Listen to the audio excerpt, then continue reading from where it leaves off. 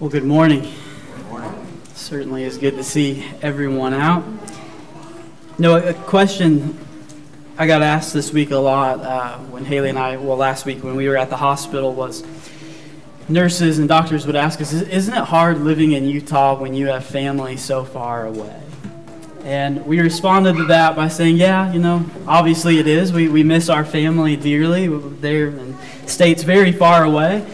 But we also explained that we do have family here, a rather large family that we are so thankful for.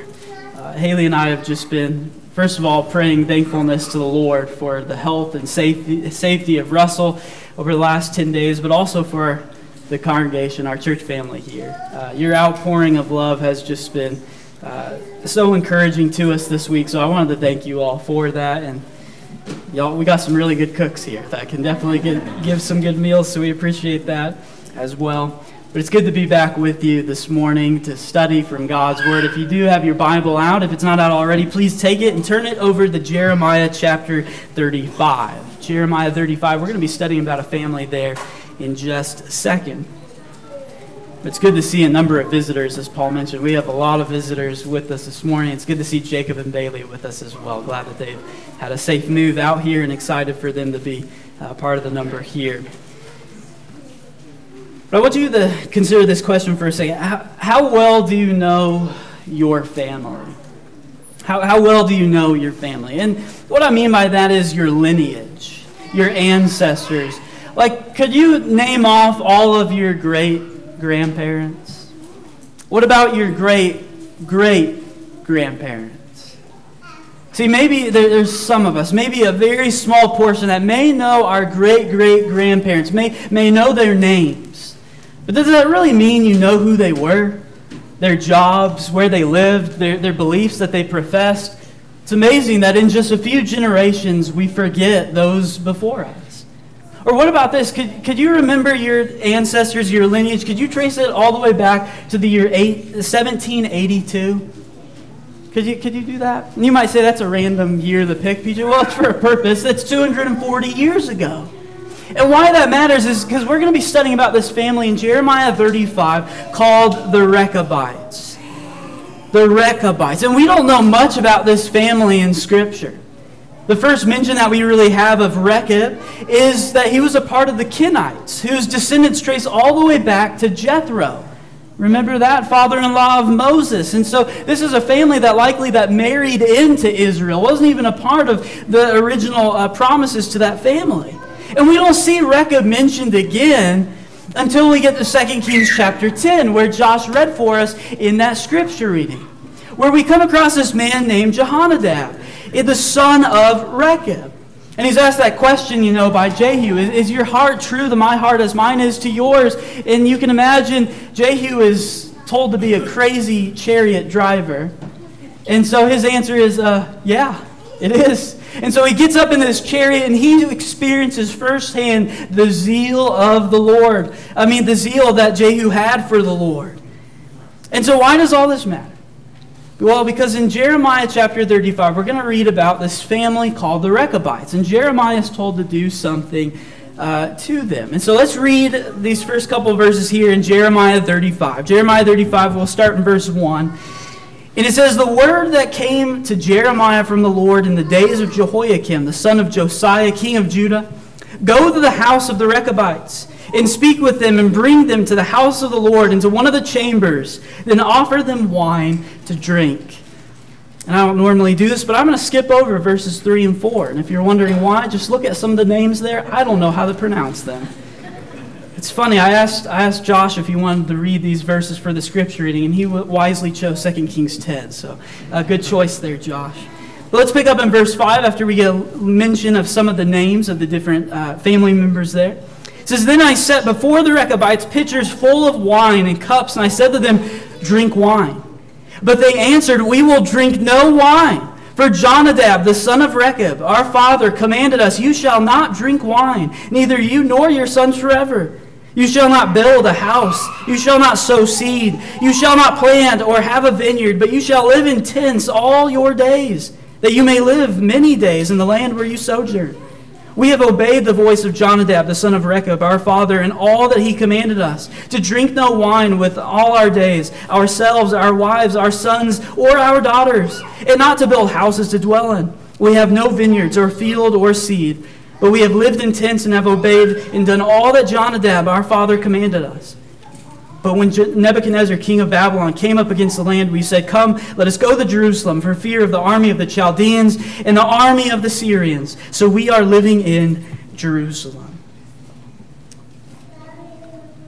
So Jeremiah is told by God to get these Rechabites, bring them into the temple, and offer them wine to drink.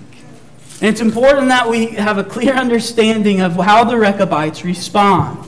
They're given and offered these pitchers of wine before them. And what do they say? No. More, more than just no, it is a very adamant no. We're not going to drink this wine. And the reasoning for that is because of what Jonadab, their forefather, the son of Rechab, told them. And this is the same. It may say Jonadab. Some of your translations may say Jehonadab. It's the same man that we read about in 2 Kings chapter 10. And so we have, we know the distance between 2 Kings 10 and Jeremiah 35 when Jehoiakim is king.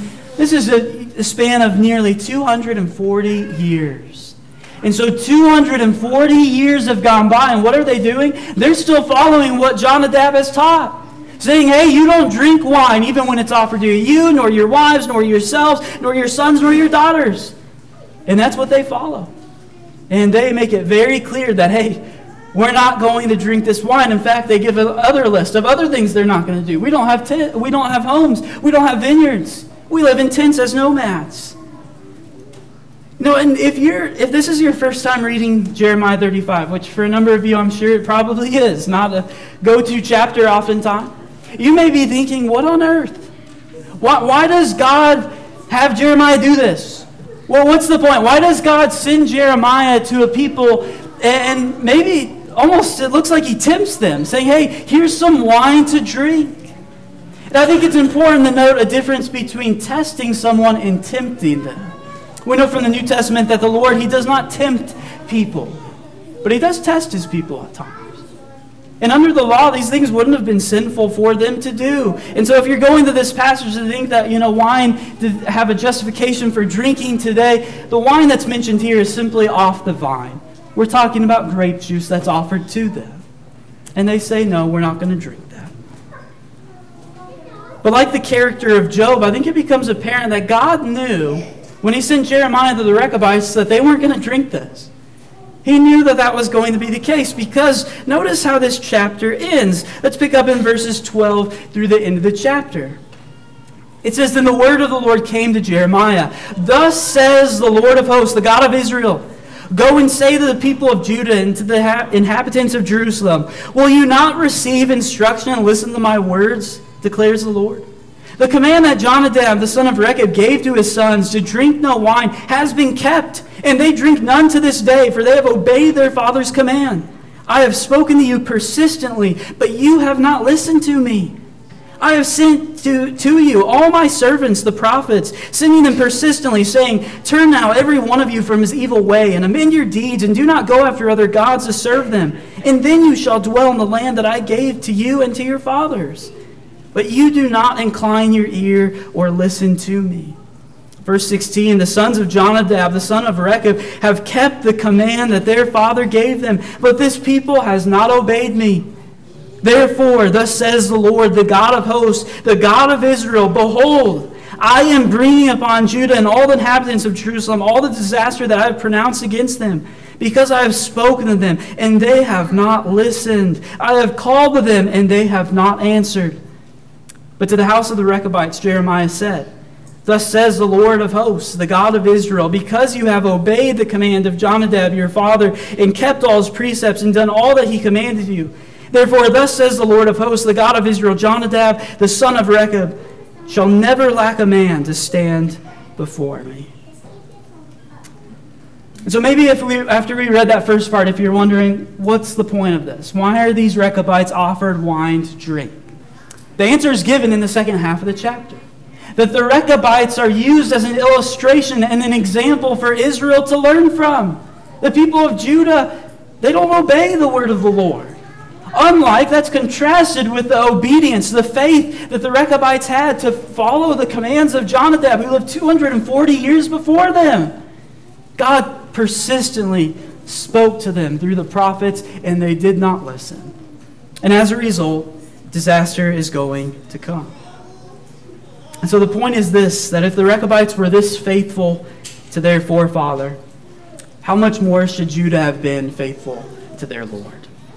That's the point of this chapter and what the Lord is trying to get across to his people. And so, as we think about this family of the Rechabites in this chapter, I want to offer and end with three applications, three points for us to take home as we think about this family and to make some applications to our lives today. And the first is we need to listen like the Rechabites.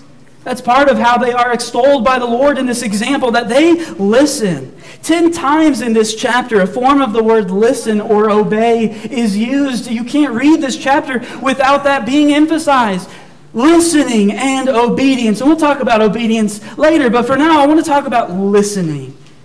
You know, are you someone that is a good listener?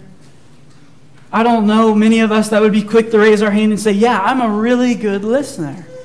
Why, why is that, that we struggle with listening? Well, one of the reasons is because we live in an age where there's so many distractions readily available.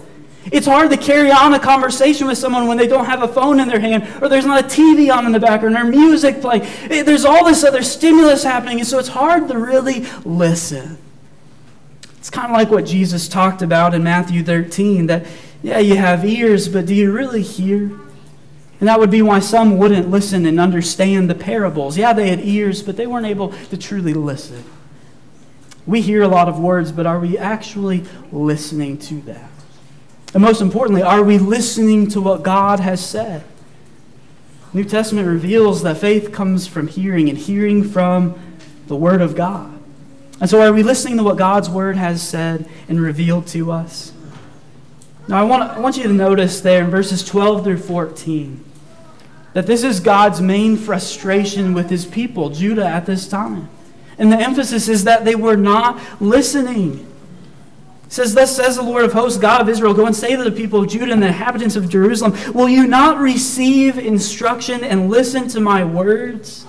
Or then at the end of verse 14, what does God say? I have spoken to you persistently, but you have not listened to me. They weren't listening. And it's easy to pick up on the tone of this passage, the second half. God is frustrated with his people. He's repeatedly talked to them, repeatedly sent prophet after prophet after prophet, and they don't listen. And what a frustrating situation that is.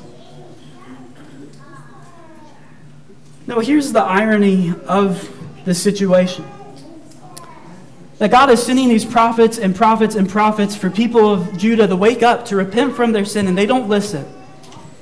And if you go down to the next chapter, some of you may have a heading in Jeremiah 36 that says Jehoiakim burns Jeremiah's scroll. And that's a graphic illustration of the very problem Jeremiah 35 is talking about. That Jeremiah has a message from the Lord, writes it on a scroll, gives it to King Je- Jehoiakim. And what does Jehoiakim do? He doesn't just burn it, that's part of it. But it tells us that it's winter and it was cold, and he's sitting by the fire, and he takes a knife out and he cuts up the scroll, and then he tosses it in the fire. That is a graphic illustration of the situation in Judah. That's how they are listening. Not at all. And I know we might feel good about ourselves because, you know, we would never burn the Bible.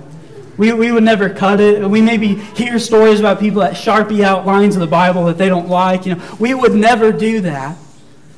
We need to ask ourselves, how, how well do we listen when God's word speaks to us? You know, especially I want to make a point to our young children, but this applies to more than just children. But I do hope that the young ones that are filling out the handouts or maybe listening, that they're paying attention. Because Ephesians 6 and verse 1 says what? It says, Children, obey your parents in the Lord, for this is right. Children are commanded to obey their parents. And that's an important thing. But you know what a large part of obedience is? It involves listening, active listening to what you are being taught. And this is such a serious thing. We see it listed in what a, what a depraved society looks like in Romans 1 and verse 30. In that list of all these different sins, we typically go to passages like this to point out homosexuality. But you know what else appears in the list in Romans 1? People that were disobedient to parents, people that didn't listen to parents. And so, kids, I know when your parents tell you what to do, you may not like it, it may not seem fair, but you need to obey them. You need to listen to them. Listen like the Rechabites did, following and listening to them. But I don't want us to miss the spiritual point of all this, a huge spiritual point. That if we are supposed to and commanded to listen and obey our earthly fathers, how much more should we be listening to our heavenly Father? Listening to all that He has commanded us. And so let's make sure that that is most emphasized in our homes listening to God listening to His Word. I think about another application from this chapter. Not just listening like the Rechabites, but we need some teachers. We, we need people that would step up and teach like Jonadab. Now, something I hope you notice uh, in this chapter, I mean, it's almost, it jumps off the page. The Rechabites come into the temple of all places with the prophet of God. And it is in that setting that they are tempted not by God, but to, to break personal convictions. Not that if they would have drank, it would have been sin, but it would have broken a personal conviction that their family had. And that's a lesson right there, a sub lesson in, the, in this whole point here that we may be tempted, we may face tests in places that we aren't always expecting it. And so here they are before Jeremiah in the temple, and they're not just encouraged to take a sip. You know, just have like a tiny sip. There are pitchers set before them. Like, hey, drink up. What, what, what's this going to hurt? You know, just have a little bit. Come on, why not? I mean, it's a prophet of God, after all, uh, offering this to them. But they refuse. They refuse. it, And I, I love their explanation. They don't just refrain from wine that, that, that's clear. They say, hey, we refrain from wine. We're not going to do it. Jonadab told us not to. But then they tell them the other things that they do as well. That we don't build any vineyards. We have no field. We have no seed. We're not even going to be tempted by this because there's no way to get the wine. There's no vineyard. And then not only that, it's, well, hey, we, we don't have any homes. We live in tents. They lived a nomadic life. And what did this lifestyle do for the Rechabites? It made them a very unique people. Probably made them look a little weird, even among the people of Israel. Why are they doing all these things? Why don't they have homes? Why do you live in a tent? We're not in the 40 years wandering in the wilderness anymore. But this is what they did. They weren't going to sell themselves for a cheap pitcher of wine. They made up their mind. They had a clear understanding of who they were and what they lived by. And there's a lesson in that for us today as Christians. That as Christians, as children of God, we are a holy people, set apart, sanctified by the blood of Christ. And that means we're going to look different. We're going to act different than the world around us. And I hope that we have been deeply rooted in truth, that we have been taught up in the ways of the Lord and what His Word says. That we've made a line in the sand that this is what I'm going to live like, and this is how I'm going to serve the Lord. But my point in this, in this thought here is well, where are the teachers at? It's hard for people to build convictions like that and listen if no one's teaching, if no one's bringing them up in the Lord. And so, fathers, do you lead? Mothers, do you lead as well? Do you teach and support the leadership of your husband? Elders, do you shepherd the flock of God? And the list could go on and on and on. In every single one of our lives, we have an area of influence. We have an area of leadership where we are leading others. And you may say, well, that's not true for me. I don't lead anybody. It may not always be with your words. It may be with through the very actions of your lives that you are leading others. And with that, how do you lead them? How do you teach them. You know, to lead and to teach like Jonadab, it's going to require persistence. Ephesians 6 4, going back to that, that same book and chapter, later on there from chapter 6 and verse 1 down in verse 4, what does it say? Fathers, do not provoke your children to anger, but bring them up in the discipline and instruction of the Lord. Bring them up. A phrase that means as they get older, as they grow. There needs to be leadership, there needs to be teaching. Teaching that's done with discipline and instruction. Oh, that's going to require diligence. It's going to require persistence and patience as well. But it reminds us that teaching and discipline, it can't only be done on Sundays. It's not enough if we depend solely on a Bible class teacher to bring our kids up in the Lord. That's not enough. That's not the biblical pattern. It starts in the home. No, I, I wish we had a record of how John Jonadab taught. I mean, really, uh, we can't think of, we probably don't know. Maybe someone here does. You've looked up Ancestry.com or something. We don't know who our descendants were 240 years ago. And I want us to appreciate that that far out, they not only knew John Jonadab, but they knew what he taught. They knew what he stood for, and that's what they followed as well. And I hope we appreciate that about the Rechabites. And what an effective teacher Jonadab must have been. I don't know how he taught. I can only speculate, but we can see from Scripture and infer from this chapter, he instilled those teachings deep within the heart of the generations that would follow. And that's a good model and a goal for us to be following as we teach the next generation, as we teach our kids, our grandkids, our great grandkids, if we live long enough to see that day.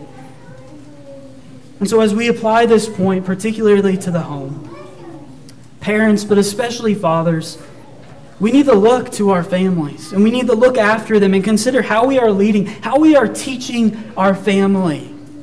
Is that something we even do? Are we teaching them actively in God's Word? Jonadab made it clear what his family was to do and not to do. And it reminds me, of the teachings of Jonadab almost echo similar language from Joshua 24 when Joshua is giving that final option to Israel of, hey, who are you going to serve? What does he say in verse 15? A verse you probably have hanging in your house somewhere. As for me and my house, we will serve the Lord.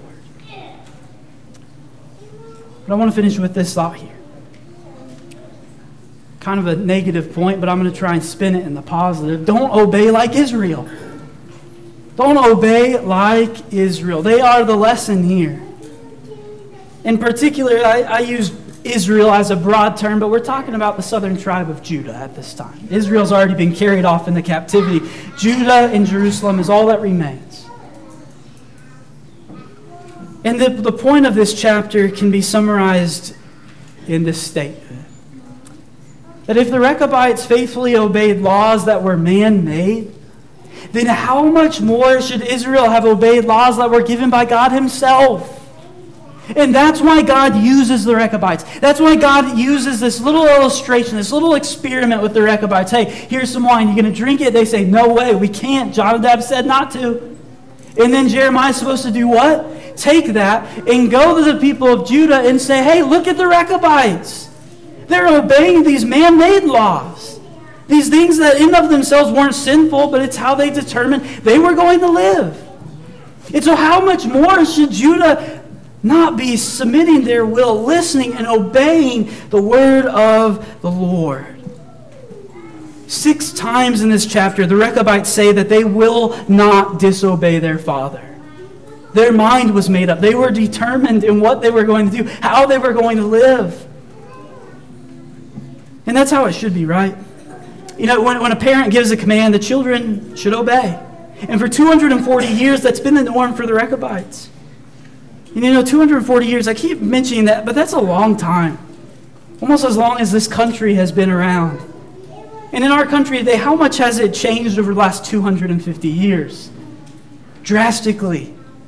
Every month, every year, laws are changing. Things are being amended. Things are being changed. And so many times, the changes that take place in a culture, in a society, are to match that of the culture in society. How easy do you think it might have been for the Rechabites to say, you know, well, in the year 841, when Jonadab made those commands, The housing market wasn't very safe. Now's an okay time to build property. Or maybe what if they reasoned and said, well, hey, that was the cultural context of that time to not drink new wine, the drink wine. They haven't had the new wine that exists today. It's fresh off the grapes in southern Judah. You'll love it. Well, what if they started to reason like we do today? That, well, times have changed, so God's word needs to change as well. That's not what we see from the Rechabites, though, do we? Not at all. They're unwavering in their commitment to obey what they were taught. And the obedience of the Rechabites teaches us that time should not dull our conviction to what has been commanded. Time shouldn't dull our conviction to obey. You know, there's a phrase by C.S. Lewis, and it's called chronological snobbery. And he's kind of coined that phrase. If you've never heard it, I'd encourage you to look it up a little bit, study this idea, and I think you'll see how prevalent it is in society today. It's this idea that the past is outdated. That, you know, because where we are on the timeline of eternity means that we are more sophisticated. We know more than those who have come before us. And this becomes a huge roadblock for people even coming to Jesus or knowing God because what are these ancient truths? What is this, this old book? What relevance does this have for my life today? Because time has gone by, suddenly does that mean that God's word is no longer true? That it no longer matters. I mean, it's just, it's so petty. It really is that we feel so empowered in our knowledge and our insight because of where we are on the timeline. Because we're living in the year 2022, we suddenly have better insight. We suddenly have better understanding. no, you look back 30, 40 years ago, every movie, every TV show, what were people doing? They all had cigarettes in their mouth. And suddenly, what did we realize? Oh, those, those aren't good for your health. What are we gonna, what, what's going to happen 20, 30 years from now? Oh, staring at a phone for 12 days? That wasn't good. Remember when people did that? Yeah. Maybe we're not as, you know, advanced or progressed as we like to claim we are. And so if we wish to have proper obedience toward God and His Word and obey what He has commanded, we need to quickly realize that truth doesn't have an expiration date. Truth doesn't expire just because we're living in the year 2022. And I know we make claims, we hear it all the time that we've progressed so much as a society. We've increased in our knowledge, we have an increased sense of awareness. But does that mean we're seeing insight in the scripture that Peter, that John, that even Jesus himself didn't see? We need to be very careful. We need to be very careful if that's how we're viewing scripture and God's word. Are we really that more sophisticated? And better yet, are the biblical truths irrelevant today but not 2,000 years ago? Absolutely not. The Lord's commands do not spoil with time, and neither should our determination to follow them. Israel, simply put, did not obey what the Lord had said. And so don't obey like Israel because they didn't obey. Jeremiah 35 and 16 simply says, The sons of Jonadab, the son of Rechab, have kept the command that their fathers gave them, but this people has not obeyed me. God requires obedience. Doesn't mean we're earning anything. Doesn't mean it makes us worthy in any way. But Jesus himself echoed this sentiment in Luke 6 and 46 when he says, Why do you call me Lord, Lord? And not do what I tell you. He expects us to be listeners of what we have been taught and obey it. Some of the key words we've been talking about in this lesson this morning listening, teaching, and obeying. If you look at that next verse, though, Jeremiah 35 and verse 17, Lord says, Therefore, thus says the Lord of the God of hosts, God of Israel, Behold, I am bringing upon Judah and all the inhabitants of Jerusalem all the disaster that I have pronounced against them, because I have spoken to them and they have not listened. I have called to them and they have not answered. It just makes it extra heartbreaking when we read over this chapter that God was calling out to his people, pleading with them to come back, and they would not listen. And this is the benefit of studying Old Testament passages like this that we can study and we can learn so we don't make the same mistake. Because we learn in passages like Matthew 11, 28, that Jesus today is calling all men to Him, Come to me, all who labor and are heavy laden, and I will give you rest. Jesus is calling out to those, seeking those who would answer. And maybe we have some here this morning who you're ready to answer the call of Jesus Christ, ready to respond to the gospel. If you're here and subject to heaven's invitation anyway, we invite you to come to the front as we stand and sing the song. Select.